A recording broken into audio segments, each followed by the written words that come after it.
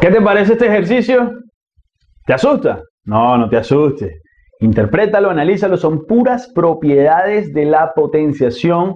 Y mira que no te están pidiendo cuál es el resultado final. Te están diciendo que al simplificar eso, ¿qué número obtienes? ¿Un número racional, imaginario, irracional o un número entero? Pausa el video. Comencemos. Muy bien, hay algo allí importantísimo que tenemos que tener presente que son las propiedades de potenciación.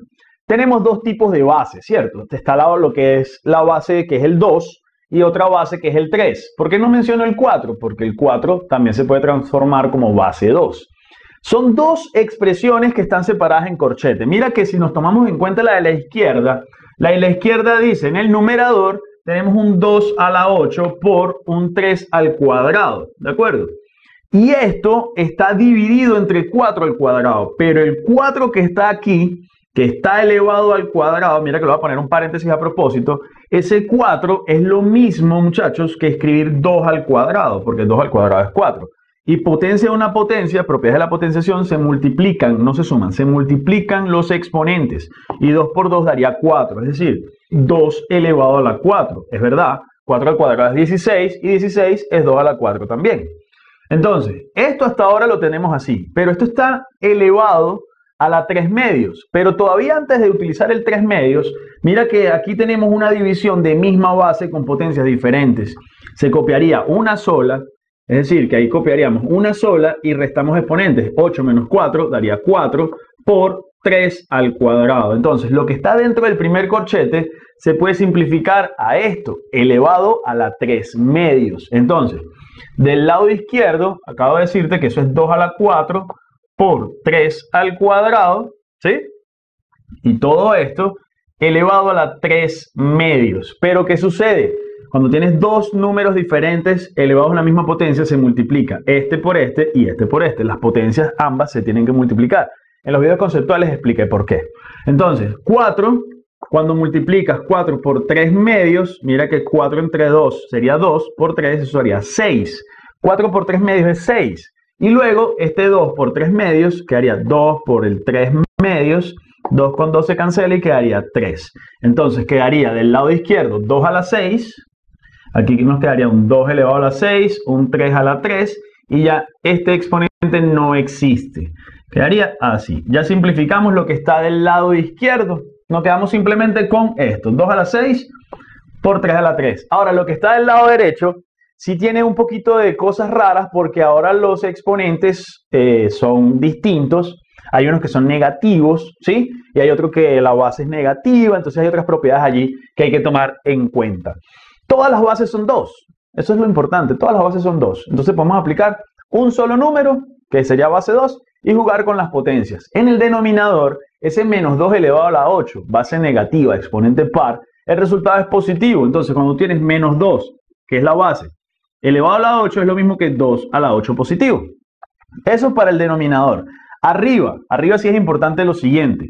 Tú tienes, a ver, tenemos esta expresión, este 2 elevado a la menos un cuarto, que multiplica a 2 elevado a la 6, y aquí voy a poner ya el 2 a la 8 positivo. Y todo esto elevado a la 1 séptimo. A ver, Aquí lo voy a simplificar porque quiero que practiquemos, pero eso no es parte del ejercicio. Nosotros queremos saber si eso es un número racional, imaginario, irracional, ¿qué va a ser eso? Mira que este un séptimo que está aquí, eso es una raíz escondida, raíz séptima. Y ninguno de estos números que están acá van a poder simplificar ese 7. Quiere decir que cuando tú agrupes esto con esto que está acá, ese 7 que está allí va a quedar como una raíz séptima de algo, literal, va a haber algo ahí dentro. Y esto, como no se va a poder simplificar, eso se representa como un número irracional, un número de infinitos decimales. Entonces la respuesta aquí sería la C, analizando solamente este exponente que nada de esto lo va a poder anular. Pero al no poder cancelarse, eso va a quedar como un número irracional. Cuando tienes una raíz, en este caso, de algo, eso es un número irracional. Si ese algo no es al final, atención, si esa cantidad que está aquí adentro no es una potencia para que se pueda anular con este valor que tenemos acá, como lo expliqué en la parte conceptual de radicación. Vamos a simplificar esto igual. Vamos a seguir dándole aquí. Mira que tú puedes escribir un solo 2. en el numerador tienes la suma de estas dos cantidades, 6 más menos un cuarto, es decir, que a 6 le restas un cuarto. Y eso, cuando tienes este 8, el resultado de eso le vas a restar 8. Mira cómo lo puedes representar. Entonces, 6 menos un cuarto. Vamos a hacer esa resta primero. Mira cómo te va a mostrar hacer esta resta. 6 menos un cuarto, a ver qué te parece. Aritmética. Para eso estamos aquí, ¿verdad que sí? Para aprender aritmética. Tú puedes hacerlo a lo tradicional. 4 por 6, 24 menos 1, 23. Y quedaría 23 cuartos. O puedes hacerlo así.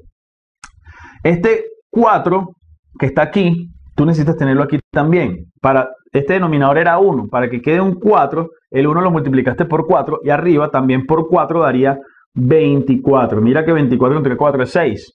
Ahora tienes el mismo denominador, colocas el 4 y 24 menos 1, 23. Es el mismo resultado.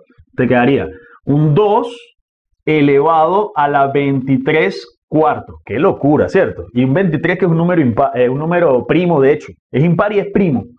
Ahora colocamos el mismo 2 y restamos exponente. Entonces al 23 cuartos hay que restarle 8 hacemos la resta. Puedes hacerlo lo tradicional. De hecho, queda hasta negativo el exponente. 4 por 8, 32. 23 menos 32 sobre 4. Lo puedes hacer así. O este 8, como está dividido entre 1 y tú quieres que ese 1 sea un 4, multiplicas por 4 aquí, por 4 aquí y restas arriba. Va a escribirlo más acá. Sería 23 cuartos menos 8. Nos va a quedar el 4 de denominador y aquí 23 menos el 32. ¿Sí? que es 8 por 4, 32. Ahora, a 32 hay que quitarle 23. ¿Cuánto daría eso? Lo puedes hacer 32 menos 23. ¿Por qué lo hago así? Cuidado porque hay personas que dicen, no, eso es 9 o eso es 11. El valor que está aquí, cuando tú le sumes 23, tiene que dar 32. Cuidado y tú pones 11. Si lo, lo digo porque hay personas que lo hacen. 11 más 23 no es 32, es 34. Porque tú le sumas 23 más, 3 eh, más 1 da 4 y daría 34. Está sumando 2 de más. Cuidado con esto que esto da 9, ¿ok? Ahora, aquí el signo, el signo negativo lo tiene el mayor, por lo tanto quedaría menos 9 sobre 4. Entonces, este que está acá, colocaríamos un solo 2, un solo 2, elevado a la menos 9 cuartos, que eso ni siquiera se puede simplificar. Y eso está elevado a la un séptimo. Potencia de una potencia se multiplicaría menos 9 cuartos por un séptimo. Entonces, más loco todavía el exponente. Eso por un séptimo, mira que te quedaría menos 9 sobre 4 por 7, 28. ¿Qué locura es esta? Entonces quedaría 2 elevado a la menos 9 sobre 28. Todo esto ya quedó así simplificadito. ¿Ok? Esto con la potencia negativa que ha hecho en el denominador. O, tú puedes agrupar este 2 a la 6 con este 2 a esta cantidad. Y puedes seguir aplicando propiedades allí de potenciación. Pero ¿para qué? Si la idea es no que deje un resultado final. ¿Recuerdas que te lo dije al principio? Aquí no se está buscando que tú digas cuál es el resultado luego de simplificar todo. No te están pidiendo simplifícalo todo. No, es el número que se obtiene en qué conjunto numérico está. No es entero, no es racional, no es eh, imaginario, porque imaginario es la raíz de un número par, la raíz de índice par de un valor negativo, como lo vimos en los videos conceptuales, sino un número irracional, porque ahí tendríamos básicamente una raíz de un número primo y eso da un número irracional estando en el numerador o estando en el denominador, donde esté. Por eso la respuesta correcta aquí sería la C, irracional. ¿De acuerdo? Entonces, espero que hayas entendido, que haya quedado claro. Aquí lo que hicimos fue propiedades de potenciación y la idea es no dejarse llevar por lo que uno ve a simple vista. Analiza, interpreta y eso lo vamos a seguir haciendo en los demás ejercicios. Nos vemos allá.